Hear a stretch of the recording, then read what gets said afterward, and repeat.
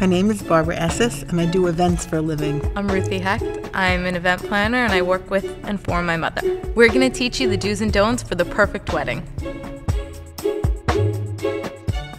When tailoring a wedding dress, tailor it to the size you are, not to the size you think you'll be.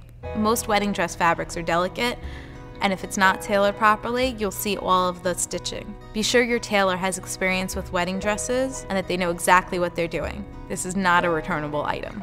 When buying your dress, make sure it doesn't need too much work.